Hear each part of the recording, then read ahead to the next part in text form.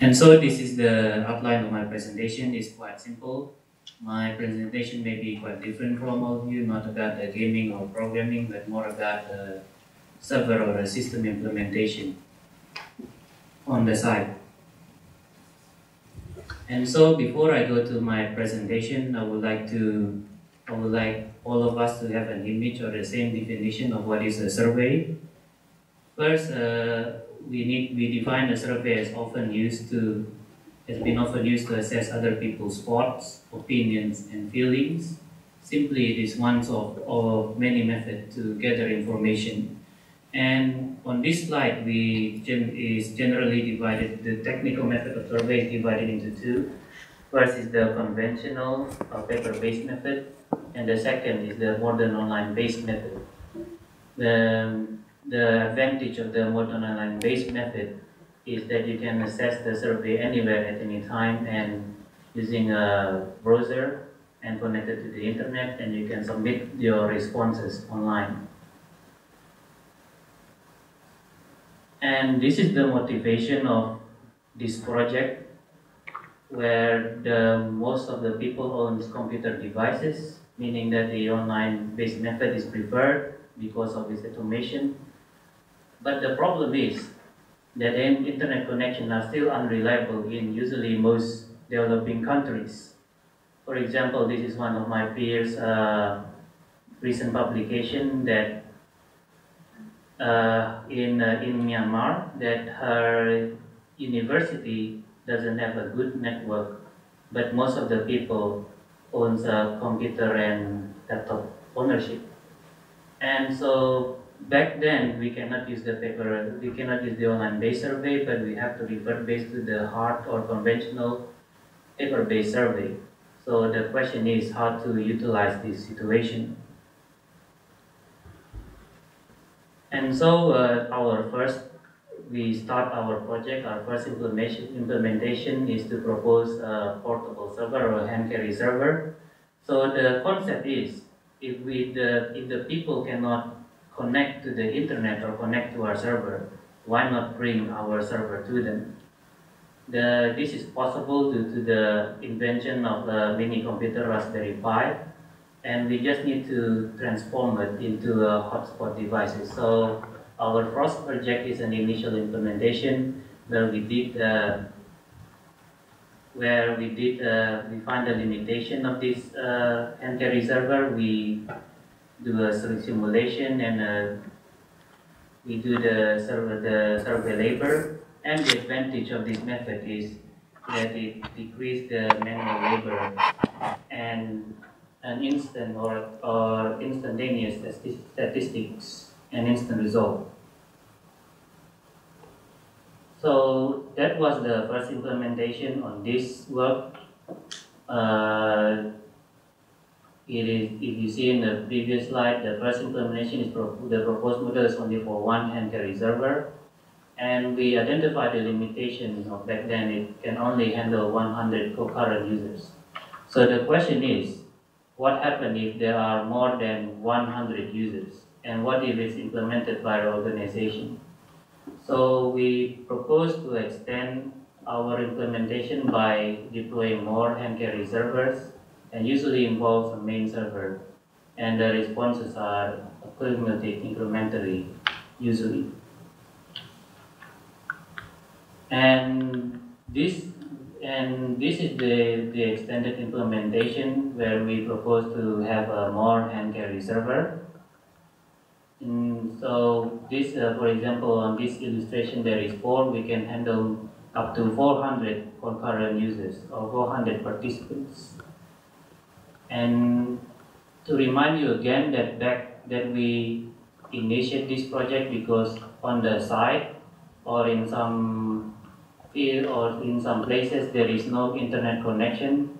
So in order for the Raspberry Pi or the hand carry server to synchronize to the main server, the surveyor have to walk from from uh, from their side to the hand carry to to the to location with an internet and usually uh, response is increment is uh, uploaded incrementally by day.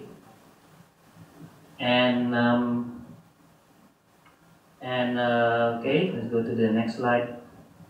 And by the way, this uh, this this this research is more to more to mobile to the surveyor side than to mobile on the than mobile learning on the student side.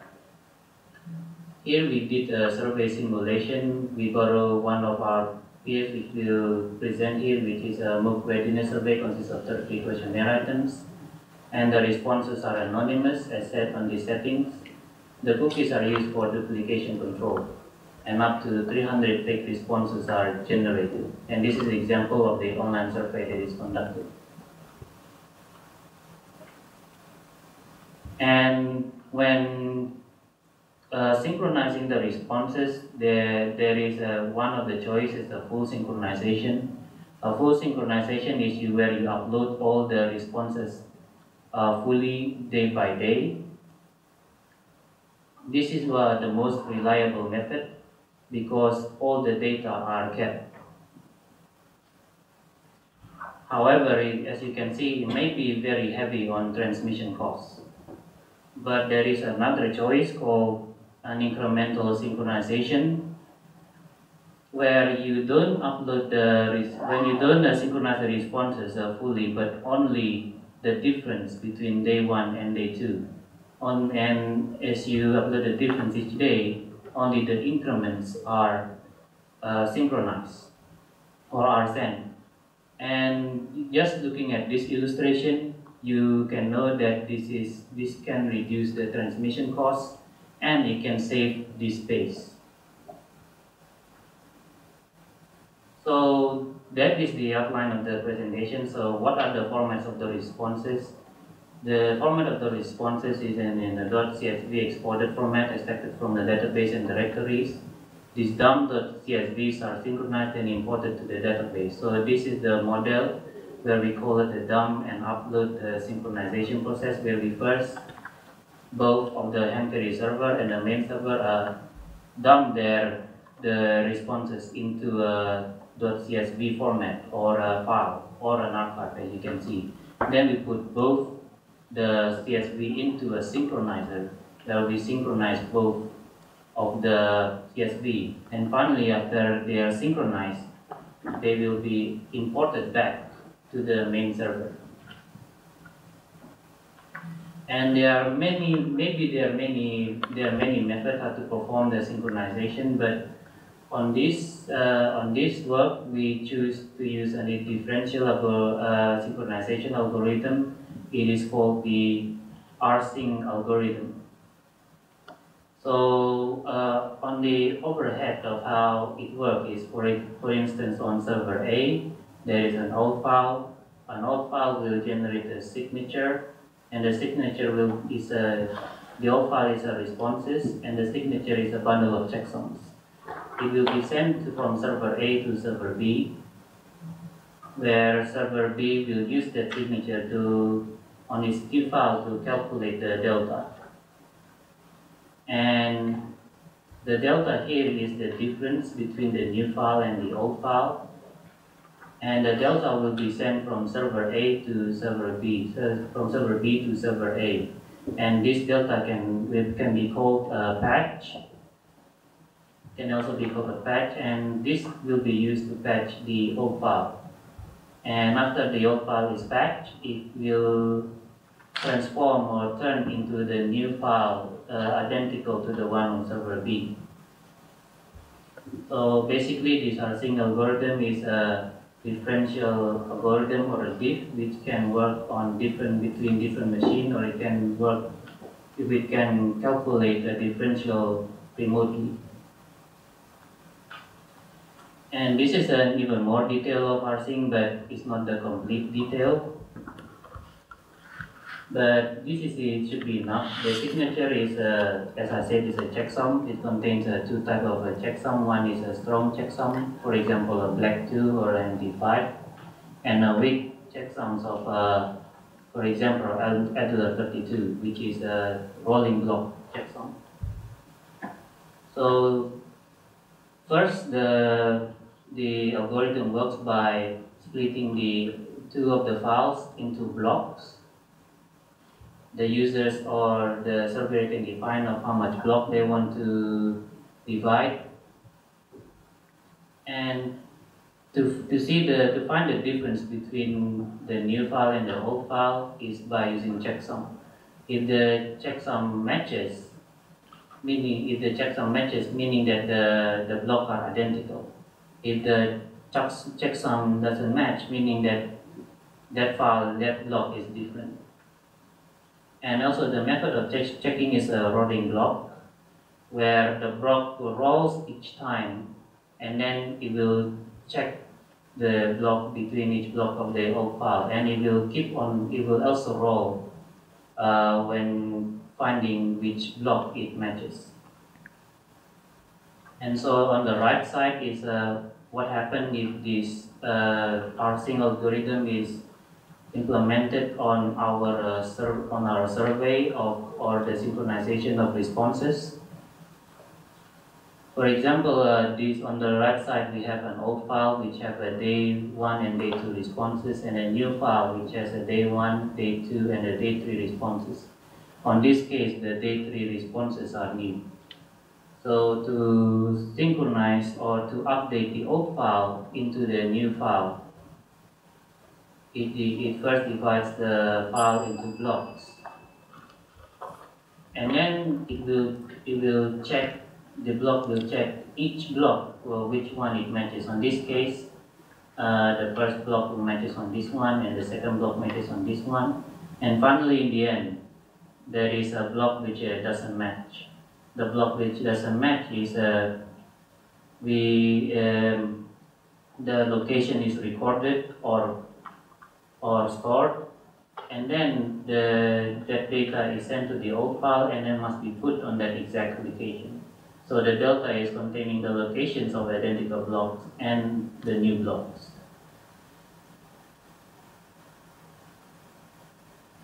And this is a, just a, this is a simu, the simulation where we synchronize uh, from 100 to 200 responses, then from 200 to 300 responses. So we, we generate a response uh, incrementally, there is a 100, 200, and 300. On the left side, on, on this uh, figure, this is a full synchronization. On the, the right side is an incremental synchronization. The blue, the blue block is from day one, which has uh, 100 responses. On day two, the we did another survey on, on day two and we will have another, we'll have uh, 200 responses, we'll get another 100 response. And on day three, we will, for example, get another 100 response and we will have a total of 300 responses. This is the, the left, the vertical bar is the expected network traffic in kilobytes. And so if we use a full synchronization, on the first day, we will get, we will send a 31.7 kilobytes. On the second day, we send another 200 responses, which is uh, 50.4 uh, kilobytes.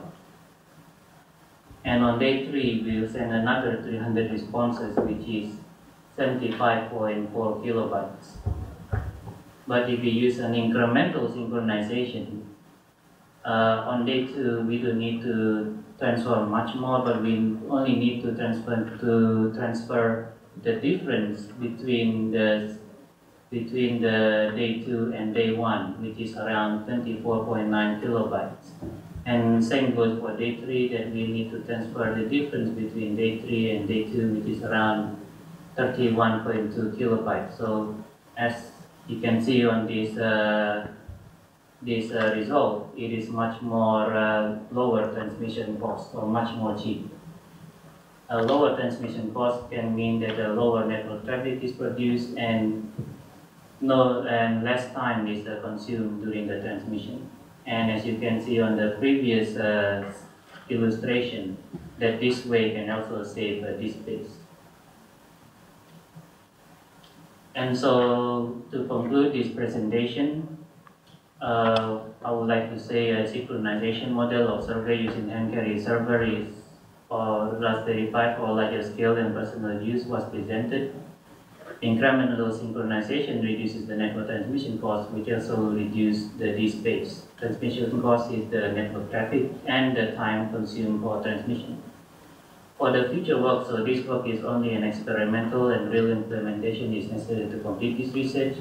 Our, our this is only like a survey or uh, just a lab experimental, but in the future we would like to implement on the field. For example, we want to go to a developing country and we want to survey like 1,000 survey uh, 1,000 people, for example, using this method and how the surveyor's perception of using this uh, using this uh, project, whether is it easier to use than the conventional method or not. And the next an extra feature work, for example, uh, using this hand carry server base, we can do a further implementation. If not, my uh, my one was a survey, but this one is, uh, for example, in class. We can use this hand carry server as, for example, using a clicker implementation where the hand carry server is here. And each person have a remote control to choose the answers and uh, statistic or analysis is generated instantly. And to remind you that this project was created because in some countries, like in developing countries, there is no internet connection. So that's why it's, we very recommend that you should we should bring the server to them. So that is all of my presentation. Thank you very much, and uh, I'll return the time to the moderator. Thank you. Thank you very much. 今のご発表に関しまして、ご質問ございましたら、挙手でお願いいたします。可能であれば、あの英語でいただけると大変助かります。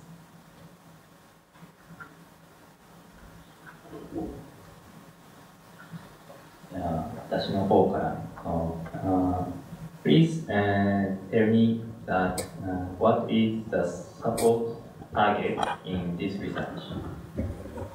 Okay, so the support target, you mean the objective of this research? Yeah, okay.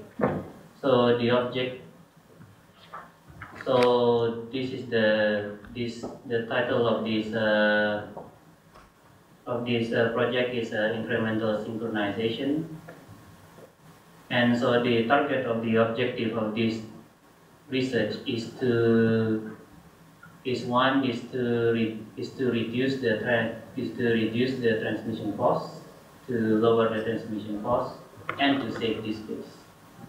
So on this one, we can see that we achieve our objective that the less this space is consumed compared to the previous one is uh, this is, this is the normal one where more this space is consumed. And we achieve our second objective, which is to reduce the transmission cost. The first the uh, normally this is the this is the network traffic, but we, we can reduce the network traffic by this much. So we so that is the second objective to reduce the transmission cost. Yes, you're right.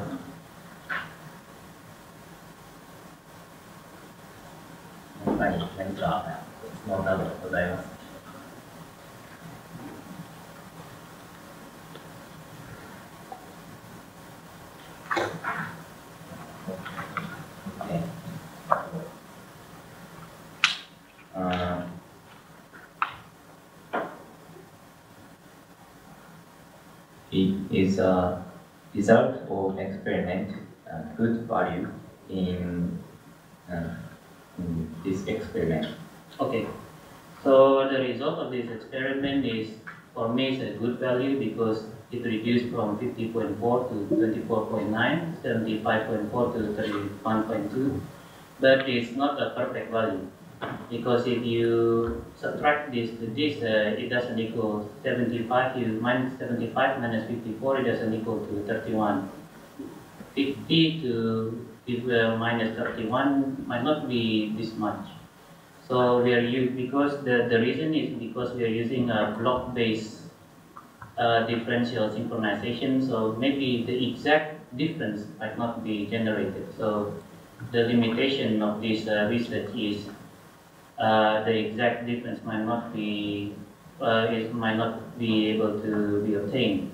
And in some cases, uh, it might not work because if that if this one being is very lucky because on this case the new data is on the last side, but what happens if the data is shifted to other side? And in some cases we cannot detect detect the difference.